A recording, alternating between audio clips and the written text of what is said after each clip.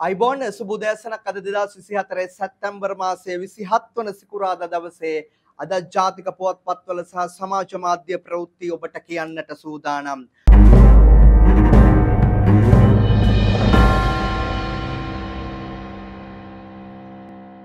මුලින්ම යන්නේ Lanka C news සමාජ මාධ්‍ය පිටුවටයි ආචාර්යතුමා හිටපු ඇමතිතුමා හිටපු බන්දුල ඇමතිතුමා හෝමාගම නේද එතුමාගේ වික්‍රමාන්විත විරෝධාර ක්‍රියාවක් පිළිබඳවයි ලංකා සී නිවුස් කියන්නේ. බන්දුලට ලොකු නඩුවක්. ශ්‍රේෂ්ඨාධිකරණයෙන් නියෝගයක්. මාර්ග සංවර්ධන අධිකාරිය යටතේ ක්‍රියාත්මක වූ මගනැගුම ඉදිකිරීම සමාගමක් වෙත ගෙවීමට නියමිතව පැවති මුදල් ගෙවා අවසන් කර තිබියදී එකී සමාගමට තවත් රුපියල් මිලියන එකසිය පණහක අමතර මුදලක් ගෙවන ලෙස විශේභාර අමාත්‍යවරයා ලෙස හිටපු අමාත්‍ය බන්දුල ගුණවර්ධන සහ එවකට අමාත්‍යංශයේ ලේකම්වරයා විසින් මගනැගුම අධ්‍යක්ෂක මණ්ඩලය වෙත දිගින් දිගටම බලපෑම් සිදු කර ඇති බවටයි කියන්නේ. මාර්ගය හදලා ඉවරයි ඉදිකිරීම් කටයුතු කරලා ඉවරයි. එහෙම තියෙද්දී අමතරව මිලියන 105ක් ගෙවන්න කියලා අධ්‍යක්ෂක මණ්ඩලයට නේද? මග නැගුම අධ්‍යක්ෂක මණ්ඩලය වෙත දිගින් දිගටම බන්දුලාචාර්යතුමා බලපෑම් කරලා. කොහොමද ආචාර්යතුමාගේ වැඩ නේද? දැන් නම් හොඳටම මඤ්ඤං නේද? මඤ්ඤම් පාලලාගේ තක්කඩි වැඩ එක එක එල්ලියට එන්න පටන් ගෙන තිබෙනවා. ජනාධිපතිවරයා දිවුරුම් දීලා තාවම සතියක් නැහැ සමාජයේ ඉදිරිපිට සුදු ඇඳගෙන ආචාර්ය කෙනෙක් විදිහට හිටපු නේද? බන්දුල ගුණවර්ධන මහ බැංකුව මංකොල්ල කාලා ඩොලර් ගෝනිවල දාගෙන කරේ තියාන ගියා කියලා තමයි රනිල් වික්‍රමසිංහට කිව්වේ. බන්දුල ගුණවර්ධන ආචාර්යතුමා ඊට පස්සේ රනිල් ළඟට ගිහිල්ලා මම රනිල් මහ බැංකුව කැඩුවා කියලා කිව්වේ නෑ කියලා තක්කඩි ලෙස ඇට නැති දිව අර පැත්තට මේ පැත්තට හරවපු මඤ්ඤං ඇමතිතුමා නේද?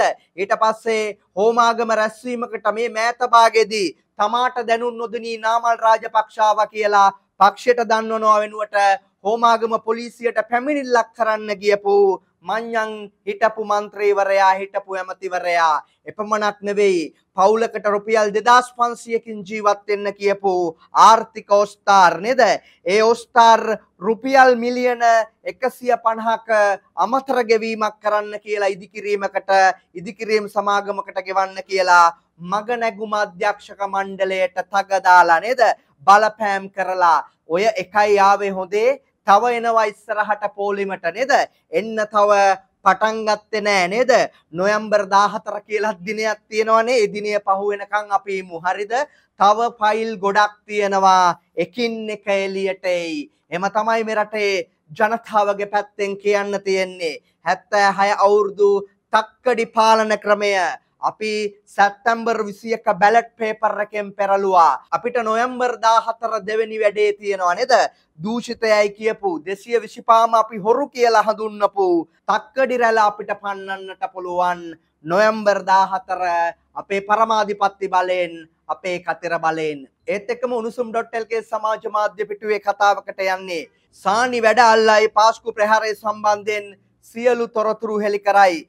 සානි අබේසකර මහතා දීර්ඝ මාධ්‍ය සාකච්ඡාවක් ලබා දෙමින් පාස්කු ප්‍රහාරය සම්බන්ධයෙන් විමර්ශනයන්හි මේ වන විට තත්ත්වය පිළිබඳව හෙළිදරව් කර තිබෙනවා. එමෙන් මේ සම්බන්ධයෙන් සිදු කළ විමර්ශනවලදී සිදු වූ බලපෑම නොමග යැවීම සහ එම විමර්ශනවල ගැටලු සහගත ස්ථාන පිළිබඳවද ශානි අබේසේකර කියනවා. ඔහු පවසා සිටියේ පසුගිය පාස්කු ප්‍රහාරය සම්බන්ධයෙන් විමර්ශනය පුරාවට බුද්ධියන් සමගින් විමර්ශනය නොමග යැවීමට කටයුතු කර ඇති බවටයි.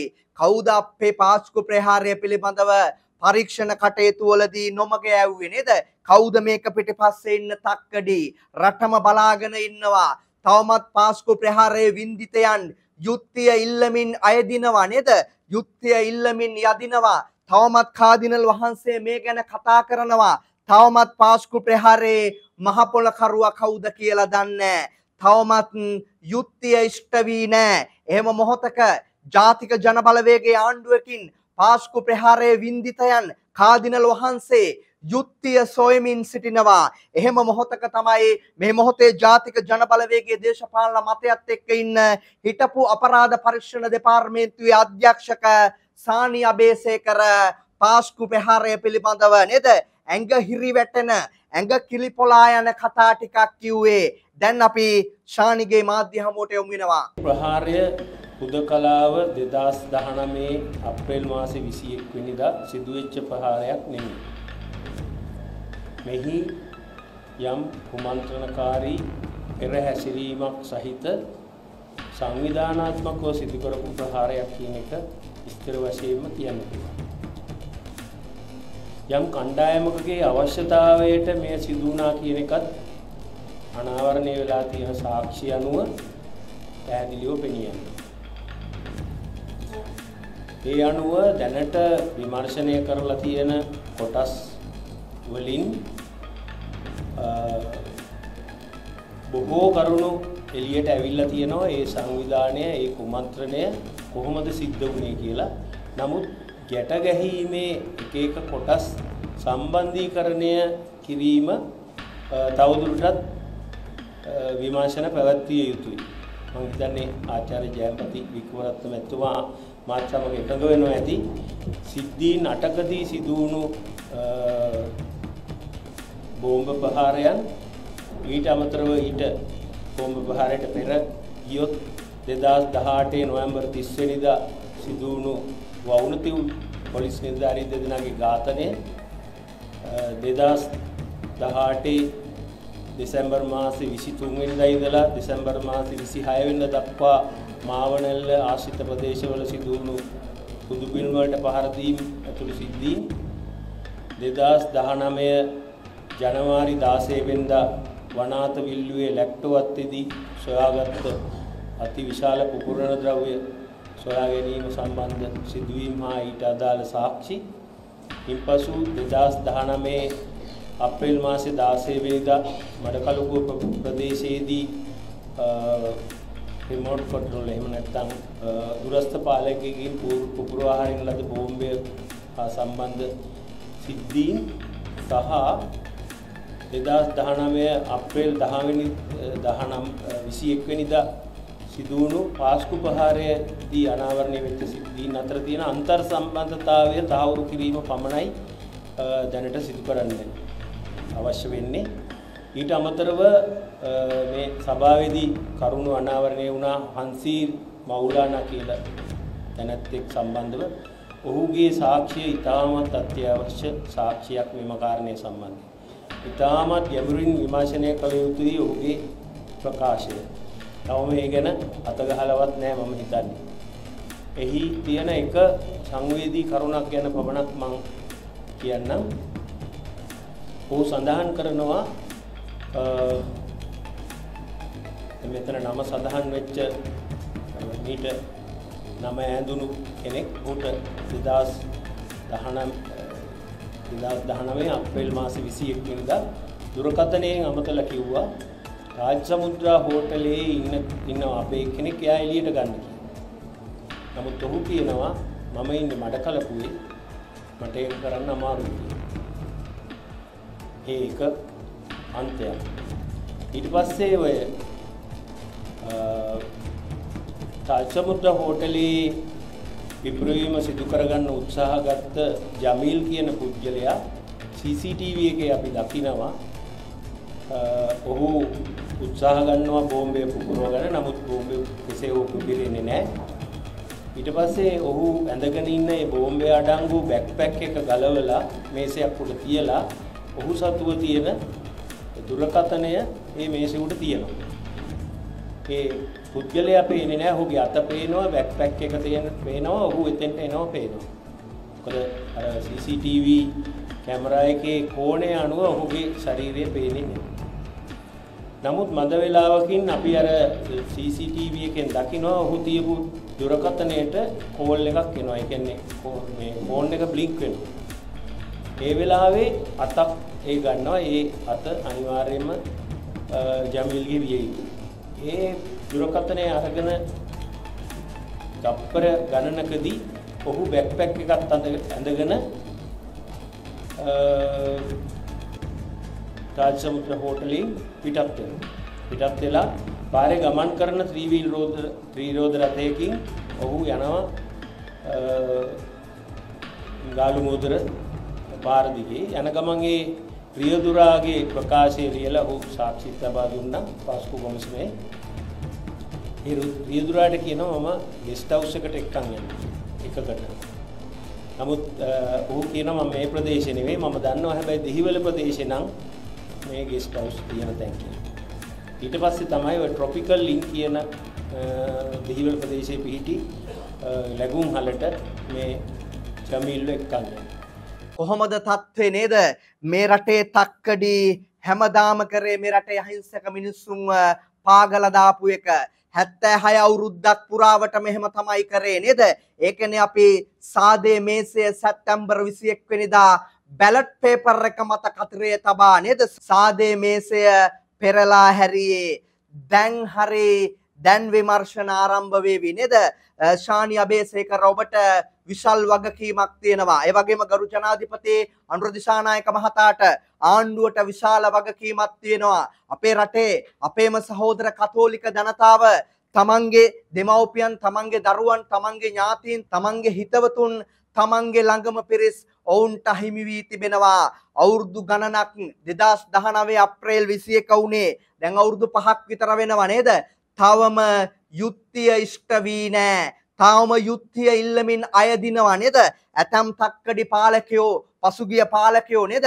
ගෝඨාභය රාජපක්ෂ ඇතුළු කල්ලිය බලයට ආවේ පාස්කු ප්‍රහාරය පෙන්නලා අපි වින්දිතයන්ට යුද්ධය ඉටු කරනවා කියලා. කරපු පරීක්ෂණයකුත් නැහැ දුන්න යුද්ධයකුත් නැහැ ගෝඨාභය රාජපක්ෂටත් උනේ ජනාධිපති පුටුව දාලා නැවකින් පැනලා යන්න හොඳේ. ඒක හින්දා රටේ මිනිස්සු අපේක්ෂාවෙන් ඉන්නවා. අනුර දිසානායක ජනාධිපතිවරයාගෙන් මේකට යුක්තිය ඉටු වේවි ශානි අබේසේකර ඔබ ළඟ තොරතුරු තියෙනවා නම් ජනාධිපතිවරයාට කතා කරන්න විමර්ශන පටන් ගන්න.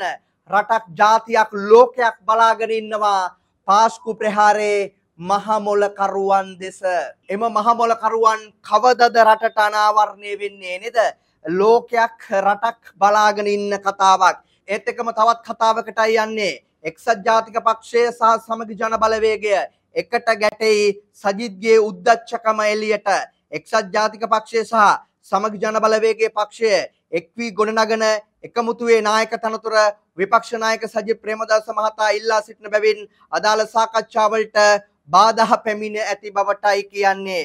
ඒට හේතු ලෙස හිටපු ජනාධිපති රනිල් වික්‍රමසිංහ මහතාගේ නායකත්වයේ යටතේ අගමැති අපේක්ෂකම් බාර ගැනීමට තමන් සූදානම් නැති බවට සජිත් කියලා තියෙනවා. මම තමයි කෙරුමා. මම තමයි జగතා මට තමයි සියලු හැකියාවන් තියෙන්නේ. මම තමයි මිනිහා. එහෙම තමයි උද්දච්ච මිනිහා කියන්නේ ඒ උද්දච්ච මිනිහගේ උද්දච්චකම හින්දා රනිල් සජිත් එකතු වෙන එක දැන් නැවතිලා මට ඕන නායකකම මට ඕන අගමැතිකම සියල්ලම ඉල්ලුවා නේද? එහෙම ඉල්ලමින් හිටිය ජනාධිපතිවරණයටත් පෙර මම ඩීල් කාරයොක් එකතු වෙන්නේ එහෙම උද්දච්ච කතා කිය කිය හිටියා අන්තිමේදී අනුර දිසානායක ජනාධිපති වුණා. තවම හැදිලා නෑ නේද? තවම ලැජ්ජා නෑ. විවිධ කතා කී කිය ඉන්නව නේද? පව්. ඇත්තටම පව් උද්දච්ච මිනිහට කියන්න තියෙන්නේ පව්. ඒකත් පව් ඒකත් ඉවරයි. කොහොම හරි සජිත්ගේ රනිල්ගේ දෙවෙනි පිළ හැදුවේ රනිල් සජිත් එක කොටයක් උඩට නංගලා කොහොම හරි අනුරට නේද? දැනෙන්න වැඩක් කරන්න පරද්දන්න නම් බෑ දැන්. කොහොමත් දැනෙන්න වැඩක් කරන්න. ඒකටත් උද්දච්ච මිනිහා කැමති නෑ. එක කොටේ උඩට නගින්නත්. ඇත්තටම පව් නේද ඇත්තටම ලංකා දේශපාලන ඉතිහාසයේ විපක්ෂය ප්‍රධාන විපක්ෂය ලක්ව තිබෙන ප්‍රධාන අර්බුද රසකට මේ වන විට ඔවුන් ලක්වෙමින් පවතිනවා එම තමයි අපට කියන්නට වෙන්නේ. ඒත් එකම තවත් කතාවකට යනවා. මන්ත්‍රීවරු 85කට විශ්‍රාම වැටුම අහිමි කරයි. පාර්ලිමේන්තු ආරංචි මාර්ග පවසන ආකාරයට පාර්ලිමේන්තුව කල්තියා විසුරුවා හැරීමත් සමග විශ්‍රාම වැටුප අහිමි වීමට සිටින නවක මන්ත්‍රීවරුන් සහ මන්ත්‍රීවරයන් ගණන 85 දෙනෙකු බවටයි කියන්නේ. කොහොමද තත්ත්වේ නේද? 85 දෙනෙකුට විශ්‍රාම වැටුප නැහැ. රෙදි ඉල්ලේ නේද? කාර් පර්මිට් එකක් නෑ වාහන පර්මිට් එක නේද දැක්කනේ අලුත් කාර් මරික්කාර් නේද? ජනාධිපති රනිල්ට කිව්වේ ළඟට ගින් අනේ සර් පර්මිට් එකට අස්සම් කරන්නකෝ. ඕක තමයි අපට ලැබෙන එකම වරප්‍රසාදය. මරික්කාර් අලුත් කාර්. දැන් කාර් පර්මිටුත් වාහන පර්මිට් එකක් නෑ. විශ්‍රාම වැටුපත් නෑ. මේ 85 දෙනාට විතරක් නෙවෙයි හිටපු ජනාධිපතිවරුන්ට ජනාධිපතිවරුන්ගේ බිරින්දෑවරුන්ට වගේම හිටපු ඇමතිවරුන්ට පාර්ලිමේන්තුව නියෝජනය කරපු සියලු දෙනාට ඉදිරියේදී විශ්‍රාම වැටුප හිමිවීමට නියමිතයි. ජාතික ජනබලවේගයේ ජනාධිපතිවරයා රටේ ජනාධිපතිවරයා රටේ සාතිශය බහුතරයක් ජනතාවගේ ජනමතයට ඇහුම්කම් දෙන ජනාධිපතිවරයා ලෙස අනුර දිසානායක මහතා එම තීන්දුව ඉදිරියේදී ගැනීමට නියමිතයි. ඒත් එකම තවත් කතාවකට යනවා අගමැති හරිනි ටිකක් සැරවෙයි. මෙරට ජනතාවාදී රාජ්‍ය සේවයක් වෙනුවෙන් ජනතා සම්පත් භුක්ති විඳිමින් නොසිට එක්ව කටයුතු කරමු යයි අග්‍රාමාත්‍ය හරිනි අමරසූරිය කියනවා. අපි දැක්කා නේද ඇතැම් තක්කඩි පාවිච්චි කළ වාහන අර ගෝල් පේස් එක ඉස්සරහා ගොඩ ගහලා තිබ්බේ කොහොමද? ලක්සැල ඉස්සරහා ගොඩ ගහලා තිබ්බේ කොහොමද? අර පදනම් ආයතනයේ ඉස්සරහා ගොඩ ගහලා තිබුණේ කොහොමද?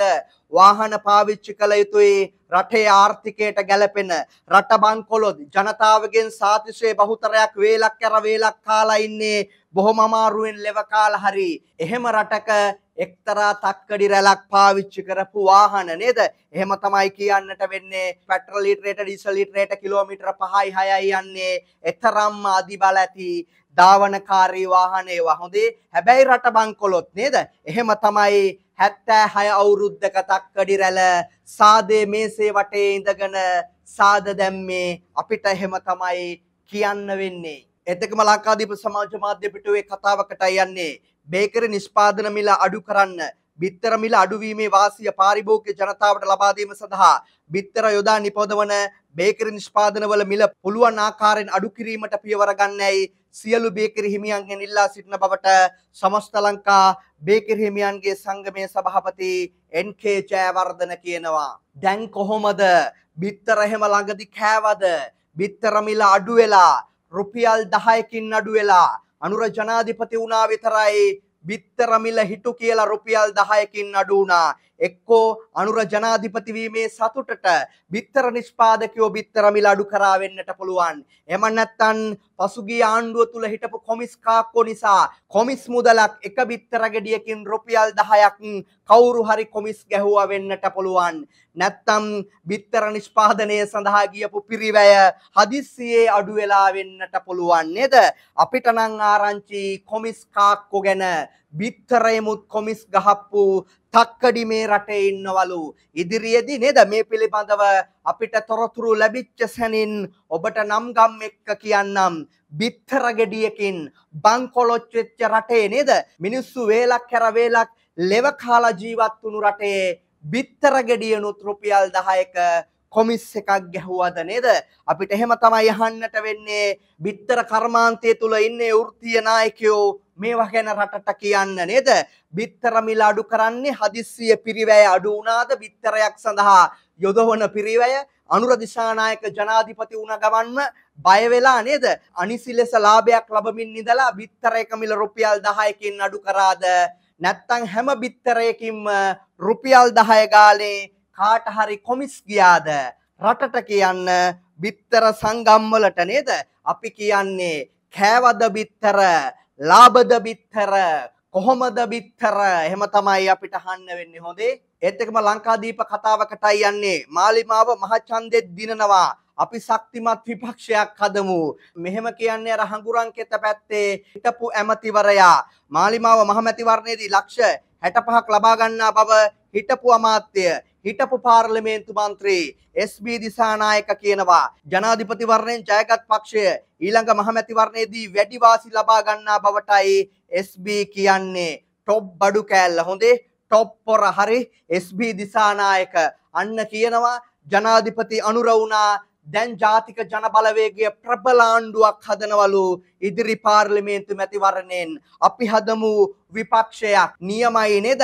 අතන මෙතන දැන් දොඩව දොඩව යනවා. අපි පරාදයි පාර්ලිමේන්තු බලයත් අනුරට යනවා. ඔව් අනුරට යනවා. නිකම් බලයක් නෙවෙයි ජනාධිපතිවරයාට සහ මාලිමාවට මේ රටේ මිනිස්සු දෙන්නේ තුනෙන් දෙකක බලයක්. හොඳේ තුනෙන් දෙකක බලයක් සහිත ආණ්ඩුවක් ඉදිරියේදී නිර්මාණය වීමට නියමිතයි. ඒ කතාවත් එක්ක අපි සමුගන්නවා ඔබට සුබ දවසක්.